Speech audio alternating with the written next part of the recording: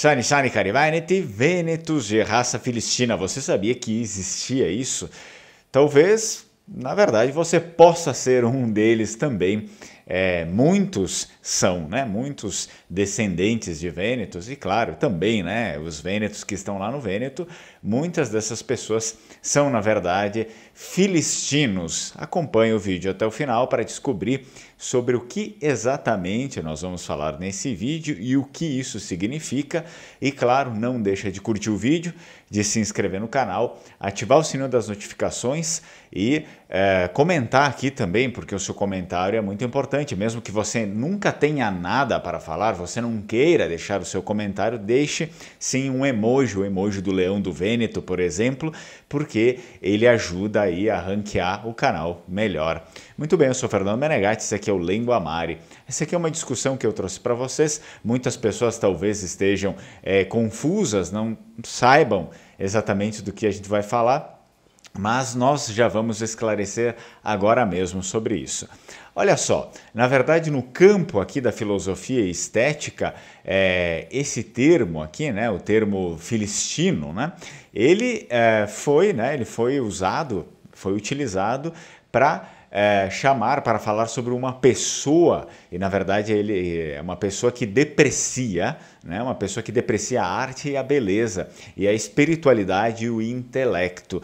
Portanto, isso daqui a gente já consegue ver em muitos dos nossos compatriotas, né? em muitas das pessoas, por exemplo, até mesmo da dentro da nossa família, pessoas que também são descendentes de Vênetos, eles é, se encaixariam também nessa é, nesse, nessa terminologia aqui dos, dos filistinos. Bem, um filistino ou então também um filisteu é, significa que é uma mente estreita, uma pessoa de mente estreita cuja visão de mundo e gostos materialistas indicam uma indiferença aos valores culturais e estéticos. Isso daqui a gente não precisa ir muito longe, muitas vezes nós mesmos é, éramos assim, e aí depois de um tempo a gente mudou, e muitas pessoas, infelizmente, nunca mudam, e acredito que sejam a maior parte aí dos nossos é, descendentes de Vênetos, eles são esse tipo de pessoa. Mas a gente vai aprofundar mais isso, espera um pouco. O filisteu, o termo filisteu ou filistino, no inglês, ele teve aí o seu uso comum na Grã-Bretanha na década de 1820 e foi aplicado à classe média burguesa e mercantil da era vitoriana que passa ali, né, de 1837 a 1901. Portanto, lá eles utilizavam já esse termo, que a gente pode traduzir como filistino ou filisteu, é, para aquelas pessoas mais voltadas para essa classe, a classe média, burguesa e mercantil. Mas por quê? Né? Será, ah, era só uma briga de, de classes? Não é isso que acontece. O que acontece é que essa classe aqui é, tinha ali a, uma nova riqueza, né? Então, essa nova riqueza tornou alguns deles, né, alguns deles, hostis às tradições culturais. Olha só que coisa é, interessante que a gente nota hoje em dia também, né? Tornou essas pessoas é, hostis às tradições culturais que favoreciam o poder aristocrático, digamos assim. Né? Era muito é, mais voltado para a aristocracia, e aí então a, a, as tradições né, eram voltadas sempre ao favorecimento da aristocracia e essas pessoas aqui elas acabaram sendo hostis à tradição e também ao conhecimento clássico. E a partir disso eles começam, eh, talvez, sim, eh, não tendo a noção absoluta do que eles estavam fazendo, mas sem querer querendo, como se diz, ou às vezes com um propósito disso também, eles acabam destruindo algo muito importante para nós. Matthew Arnold é um, foi um poeta tá, e crítico britânico, uma pessoa que tem tudo a ver com isso.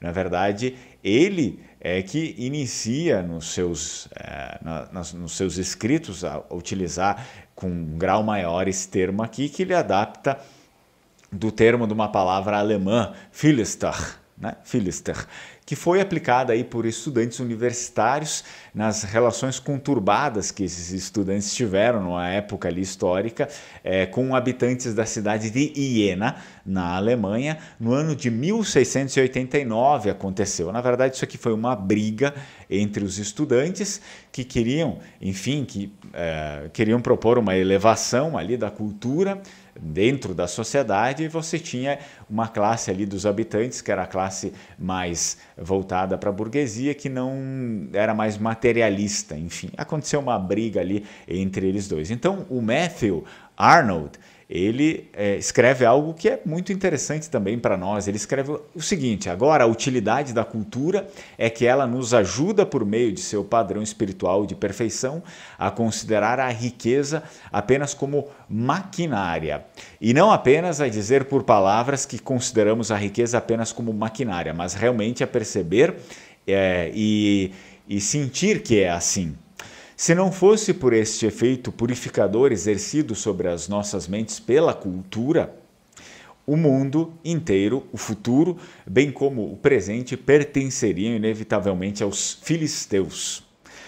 As pessoas que mais acreditam que a nossa grandeza e bem-estar são é, provadas por é, sermos muito ricos e que mais dão as suas vidas e pensamentos para se tornarem ricos são apenas as pessoas a quem chamamos de filisteus.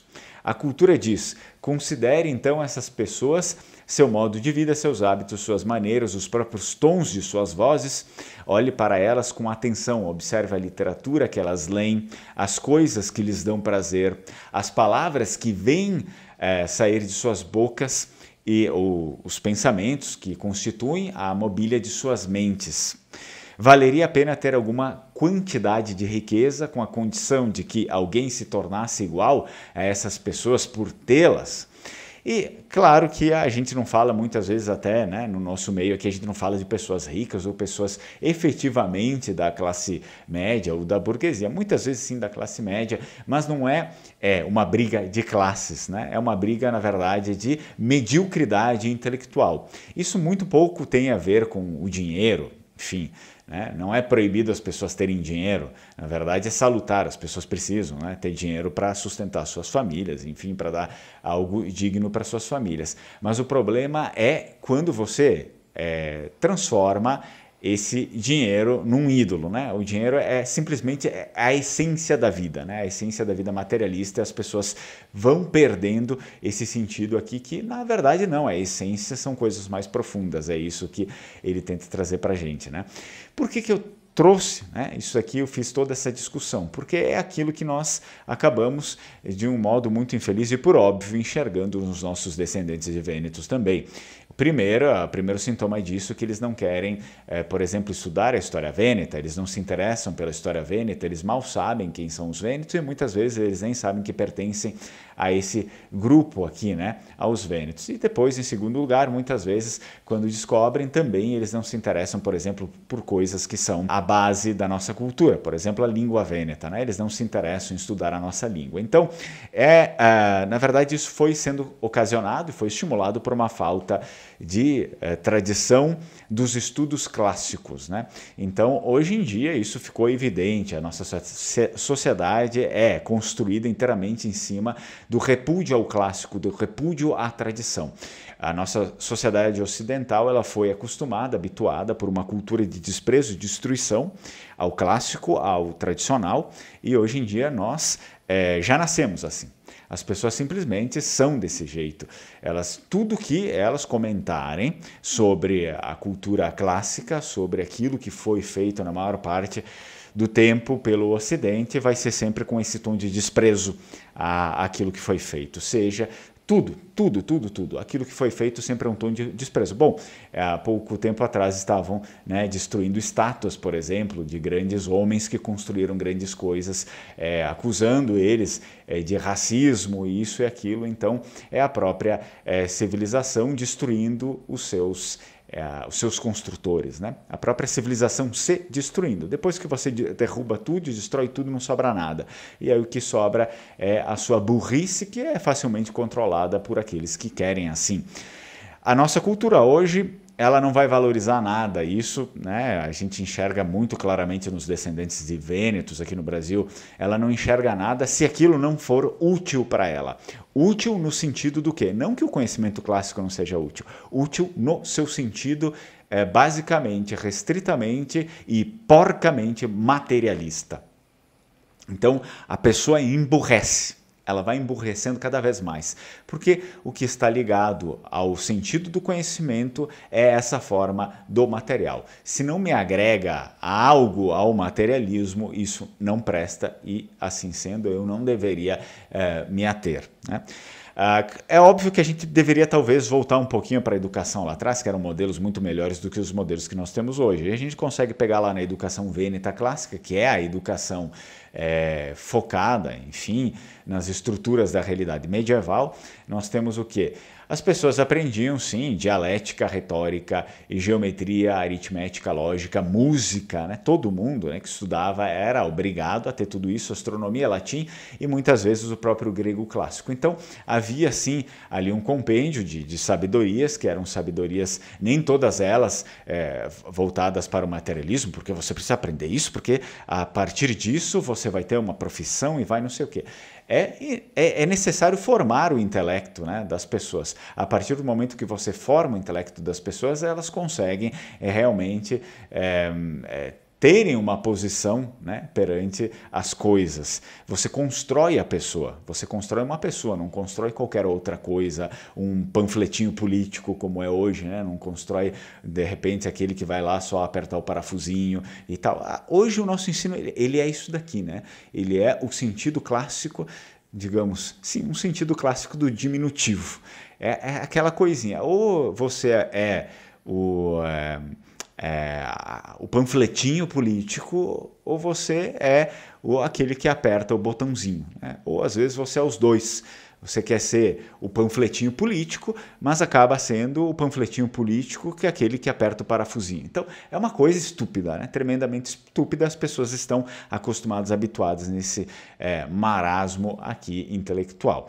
Bem, onde isso começa? Né? Isso aqui está totalmente ligado às pessoas que por vezes, eu sei que as pessoas que acompanham esse canal, as que acompanham, estou dizendo que é, todos os inscritos acompanham o canal, efetivamente não, pelo número de curtidas e visualizações, a gente percebe que eles não acompanham, né? Eles simplesmente veem um vídeo, se interessa e vem aí, se inscreve e vai embora, nunca mais assiste. Mas as pessoas que acompanham esse canal, eu sei que têm um intelecto um pouco acima, né, da da média, assim como eu espero que eu também tenha um intelecto um pouco que saia dessa coisa, é, digamos, um intelecto médio, né? Dessa, bem desse marasmo aqui.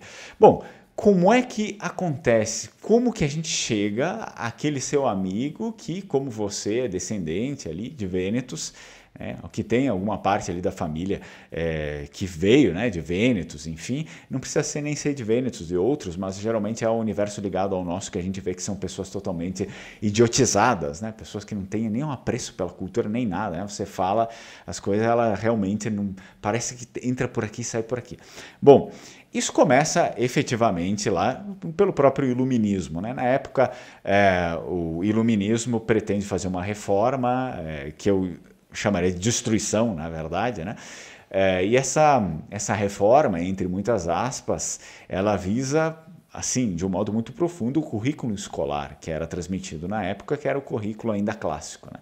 Então, eles pretendem acabar com a cultura clássica, é, que para eles ah, era voltado para a aristocracia, para, para a, favorecer a aristocracia. Mas olha só, o que, que eles fazem? Então, eles não querem, né? Que o currículo clássico é, favoreça a aristocracia, mas é, sim, eles destroem o currículo clássico para transmitir ideias e ideais iluministas. E essas ideias e ideais iluministas e o currículo clássico, a escola em si, ela começa então a ser ligada ao que ao Estado. Ou seja, você não quer aristocracia, mas você liga a escola ao Estado, como é hoje. Né? Uh, é um contrassenso isso entendeu? É um contrassenso, porque então o Estado efetivamente começa a mandar aí. A igreja é retirada e somente o Estado é o dono da escola, né? o governo. Então, inicia-se aqui o ato não de aprender com os mais velhos. Por sinal, isso foi totalmente destruído. Vocês conseguem enxergar que hoje a nossa civilização é uma civilização que não tem nada a ver com a civilização que veio antes, né, lá do século XVIII e tal, é, a civilização que veio antes disso não tem mais nada a ver, são coisas diferentes. Nós nos vestimos diferentes, nós pensamos diferentes, nós temos hábitos diferentes, nós menosprezamos os mais velhos. Nós é, não queremos aprender com os mais velhos. Ser velho é, é, estúpido, ser velho é uma coisa ruim, é indesejável. As pessoas velhas hoje estão botando filtro né, nas suas fotos, estão usando aqueles aplicativos ridículos porque elas não querem ser mais velhas. Por quê? Porque elas não têm nada. Né? Elas não têm nada para agregar para outras pessoas porque elas também fazem parte dessa, uh, dessa porcaria aqui. Ou seja, nós vivemos uma sociedade que ridiculariza ou despreza os velhos, até tiraram eles, por exemplo, dos filmes, é, que odeia crianças também, também tiraram dos filmes, tiraram de outras coisas, e despreza de uma forma assim prioritária todos os clássicos. Tudo que teve, ah, não, é legal, tal, você pode ler alguma coisa ou outra, mas é uma coisa que ficou lá no passado, não tem mais nada a ver. Então, é, só que foi se criando assim uma cultura do, do questionamento, né? As pessoas não aprendem, a pessoa questiona. A escola impulsiona isso, né? Não, você não deve ler os clássicos, você tem que ser uma mente crítica, tem que questionar.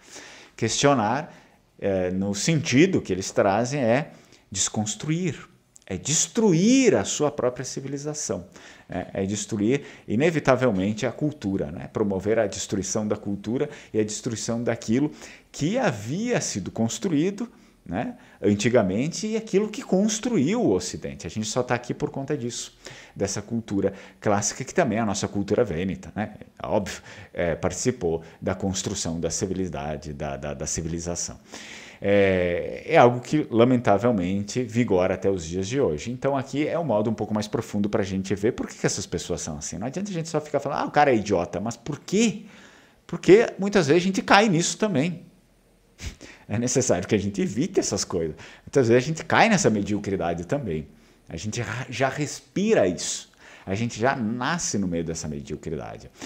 E certamente a gente deve destacar algumas coisas, por exemplo, tudo isso aqui, depois disso, desencadeia aí essa educação tecnicista e uh, que é né, apertar o parafuso, enfim, você não precisa aprender, vai aprender latim, vai aprender grego antigo para quê?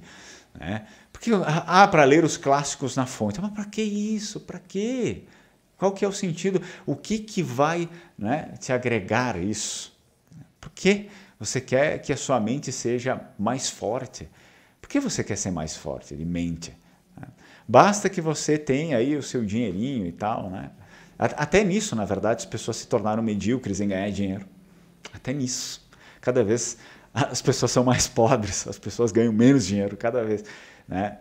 Ou seja, o, o, estudo dos clássicos deixou as pessoas mais burras e por você ser mais burro, você tem menos condições, competência e insights para ganhar dinheiro. Até nisso você é mais burro. Né? Estudo a, a, o nojo pelo clássico, o nojo por aquilo que construiu a sociedade ocidental faz com que você seja uma pessoa medíocre, também no próprio materialismo. Então veja quanto pobre nós nos tornamos. E claro que aí depois disso daqui do ensino tecnicista, que é uma coisa até meio recente no Brasil, lá no início do século XX, né, das escolas técnicas e tal, é, se juntou, é, sem sombra de dúvidas, a educação política, né, de cunho basicamente marxista, que é aquela coisa, né? Ambas as vertentes aqui, tanto a educação tecnicista, a educação marxista, são vertentes que desprezam em, em níveis iguais aí a, os clássicos e aquilo que foi produzido pela cultura é, ocidental pelos séculos, né? E também uh, a gente consegue ver que visa né, uma certa destruição de tudo isso e promovendo uma visão materialista e utilitarista de tudo. É, porque tanto o tecnicismo na educação quanto o marxismo são visões totalmente materialistas. Né? Eles acreditam apenas no aqui e agora, no material, na verdade. E por acreditarem apenas no material, produzem, é, formam cada vez pessoas mais pobres. Pobres no sentido óbvio, básico, por óbvio, no sentido é, intelectual e por serem pobres intelectualmente, são pessoas pobres financeiramente também. A conclusão de tudo isso, porque eu sempre liguei isso para a gente fazer uma, uma identificação né, dos nossos queridos é, irmãos e irmãs vênetos filistinos ou filisteus, né?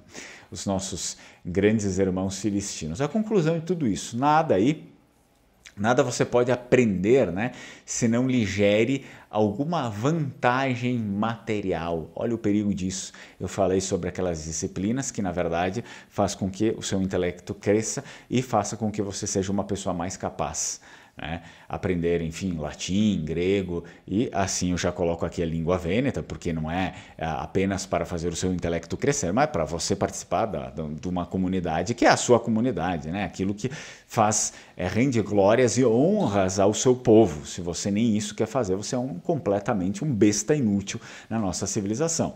Por óbvio, essa cultura foi estimulada, assim, porque é nos clássicos, e aí eu também volto lá é, para a história dos Vênetos, né? nos clássicos que você encontra a verdade sobre as coisas e não nas obras, né? nas obras de destruição dos clássicos. Aqui você não encontra nada, você só encontra ódio, repúdio, coisas que vão te fazer mal, de certa forma. Pois é, a gente consegue ver que é, essas coisas elas não passam de uma mera desconstrução cultural.